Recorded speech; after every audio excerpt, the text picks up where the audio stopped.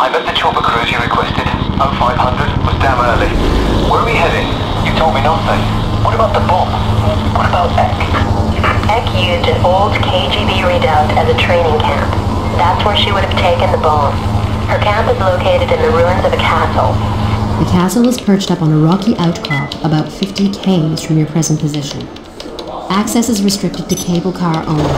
I can't risk you and the chopper going in close. A shoulder-launched SAM could bring you down too easily. Access to the cable car is located in a regular army training fort, located at the base of the mountain. We will drop you some distance away.